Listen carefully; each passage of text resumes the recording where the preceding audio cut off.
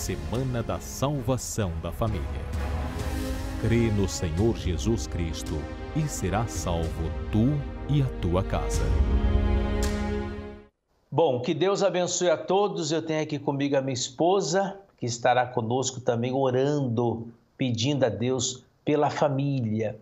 E eu estava é, meditando em um versículo da palavra de Deus, exatamente em Atos, quando é, Paulo e Silas disseram ao carcereiro esta palavra. Olha só o que diz: diz assim: E eles disseram: crê no Senhor Jesus no Senhor Jesus Cristo, perdão, e será salvo tu e a tua casa. Primeira coisa que eles disseram ao carcereiro foi isso. Em seguida diz: E lhe pregavam a palavra do Senhor e a todos os que estavam em sua casa. E tomando-os ele consigo naquela mesma hora da noite, lavou-lhes os vergões e logo foi batizado ele e todos os seus, falando do carcereiro, e levando-os à sua casa, lhes pôs a mesa e alegrou-se de que com toda a sua casa havia crido em Deus. Atos 16, versículo 31 ao 34. Então, o que me chamou a atenção nesse versículo? Olha só, o que, que o Espírito Santo nos mostra com isso? Que mesmo machucado, mesmo ferido, mesmo é, havendo sido maltratado, a preocupação de Paulo e Silas era com a alma daquele carcereiro e da família. Essa deve ser a nossa preocupação. Primeiro, com a nossa alma, com a nossa salvação, a salvação pessoal.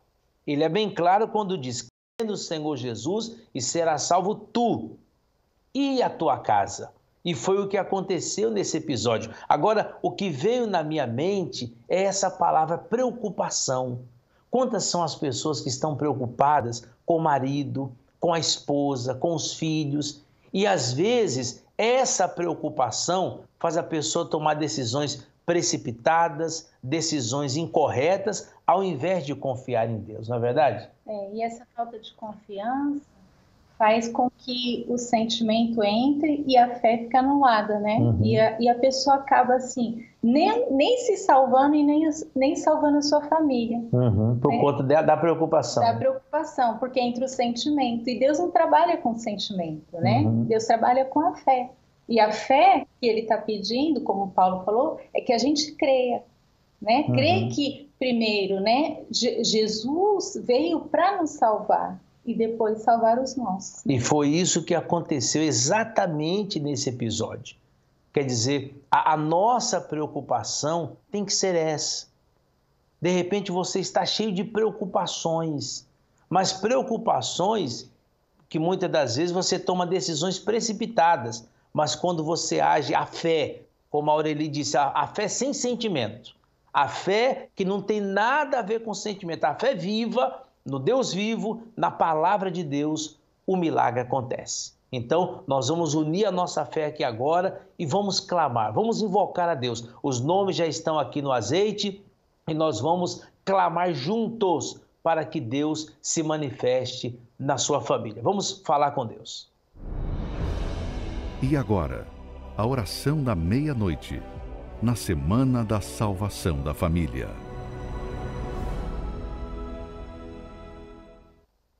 Deus e meu Pai, estamos aqui hoje, Senhor, reunidos, Sim. meu Pai, para pedir em favor de todas as pessoas que unem a fé conosco, Senhor.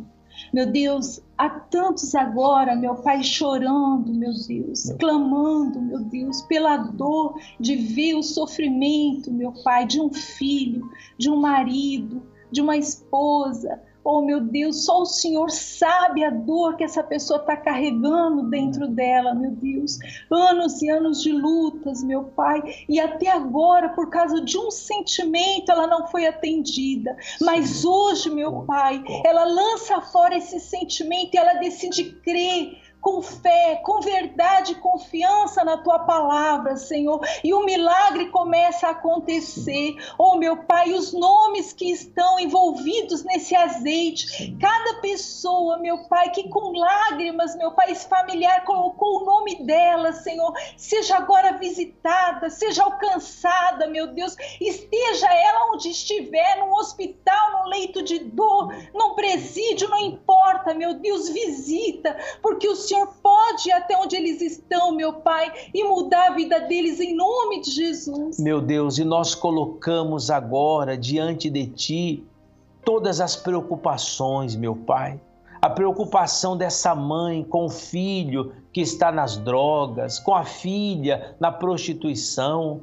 a preocupação dessa esposa que o marido, meu pai, está frio com ela, ou talvez foi embora de casa com outra mulher, a preocupação dos pais com os filhos, dos filhos com os pais, meu Deus. Quando Paulo e Silas estavam ali detidos, encarcerados, sofrendo, machucados, maltratados, eles tiveram uma preocupação que foi a alma daquele carcereiro e da sua família. Meu Deus, e esta é a nossa fé. Então, agora, meu Pai, nós colocamos as nossas preocupações no teu altar e agora clamamos pela alma da nossa família, a alma da família dos obreiros, dos evangelistas, dos jovens, dos membros, dos pastores. Sim, meu Pai, nós clamamos pela alma, clamamos agora, meu Pai, assim como este azeite envolve estes nomes, o teu espírito envolve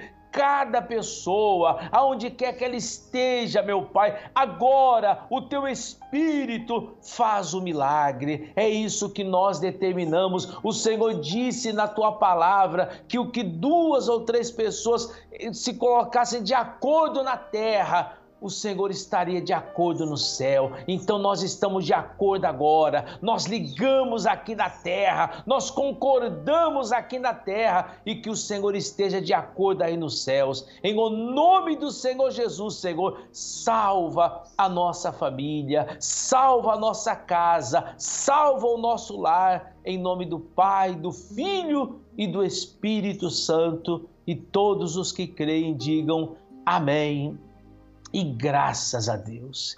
E que assim seja.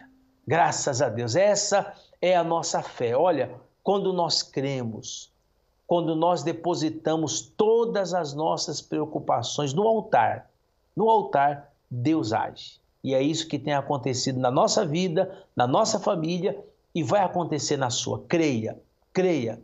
Em breve você vai contar o seu testemunho, aquilo que o Espírito Santo fez, porque a fé faz isso, né? Mas, inclusive, eu tenho testemunho, né? Às vezes as pessoas pensam, ah, é, pastor, esposa de pastor não tem testemunho. Mas no primeiro dia da oração, eu tinha o meu pai no hospital há mais de um mês, na UTI, né? Uhum. Passamos, e, e eu clamando a Deus, e no primeiro dia, Deus me respondeu. Dessa semana? Dessa semana. No primeiro dia de oração, no outro dia, meu pai teve alta, está em casa e está bem. Tá vendo? Todos nós passamos lutas pastor, esposa, bispo, obreiro. Agora a fé está aí. Essa semana da salvação da família é para isso. Amanhã estaremos de volta com o bispo Gonçalves na oração pela família, tá bom? Eu tenho certeza que Deus ele fará o milagre acontecer na sua vida e na sua casa.